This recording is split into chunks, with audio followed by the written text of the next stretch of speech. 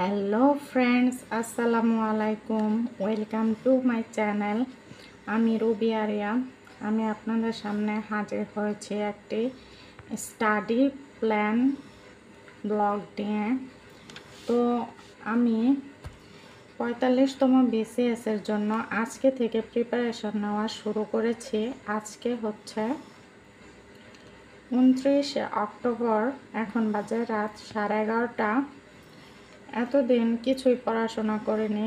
মাঝখানে প্রাইমারির ভাইবা দিয়েছি, রেলের সহকারী স্টেশন মাস্টার পদে ভাইবা দিয়েছি আর জুনিয়র অডিটর পদে ভাইবা দিয়েছিলাম।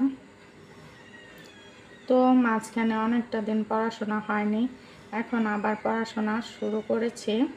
আজকে থেকে তো আমি একটা রুটিন বানালাম, তো ভাবলাম যে এটা কেননা আপনাদের সাথে শেয়ার করি।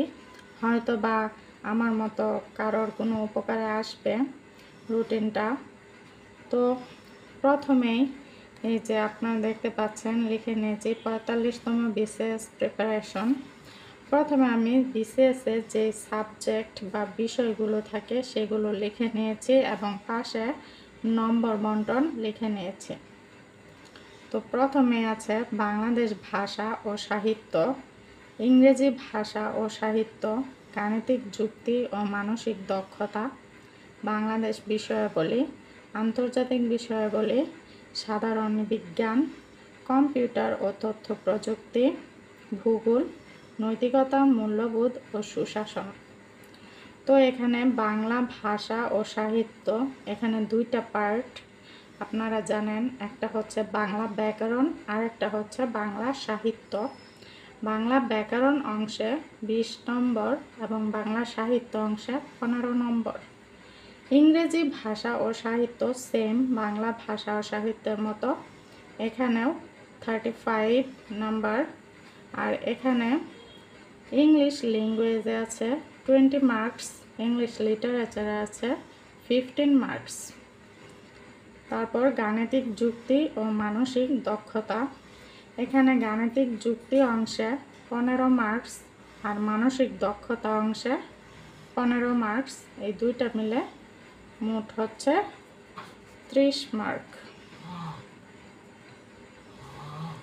তারপর বাংলাদেশ বিষয়াবলী, এখানে হচ্ছে ত্রিশ মার্কস। আন্তর্জাতিক বিষয়াবলী, বিশ মার্কস। সাধারণ বিজ্ঞান, পনেরো মার্কস। তথ্য প্রযুক্তি, পনেরো মার্কস। ভূগোল দশ মার্কস, নৈতিকতা, মূল্যবোধ ও সুশাসন দশ মার্কস। এই সব মিলিয়ে হচ্ছে দুশো মার্কস।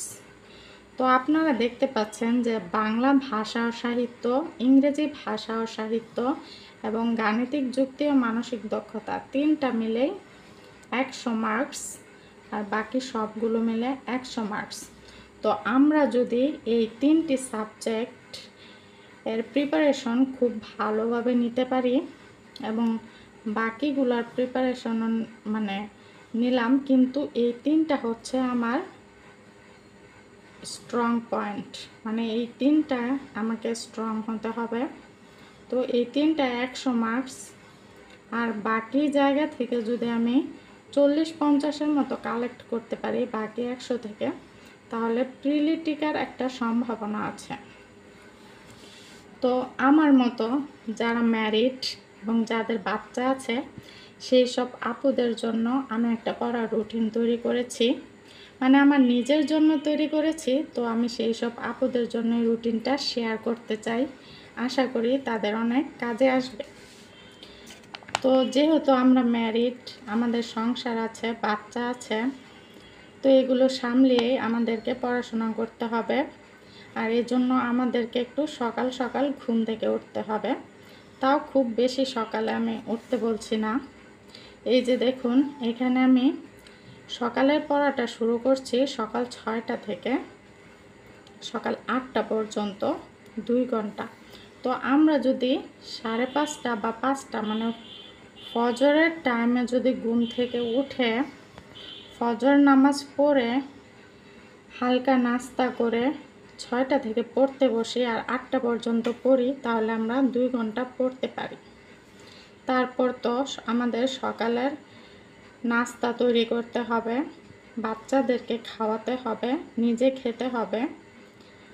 তারপর আবার আমাদের দুপুরে রান্না বান্না করতে হবে, বাচ্চাকে গোসল করাতে হবে নিজে গোসল করতে হবে, জোহরের নামাজ আদায় করতে হবে।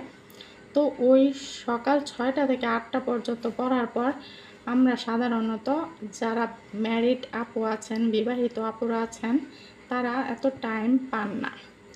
কিন্তু দুপুরে খাওয়া দাওয়ার পর এবং বাচ্চাকে খাইয়ে দেওয়ার পর দুপুর তিনটা থেকে পাঁচটা পর্যন্ত মানে সন্ধ্যার আগ পর্যন্ত আমরা একটা টাইম পাই।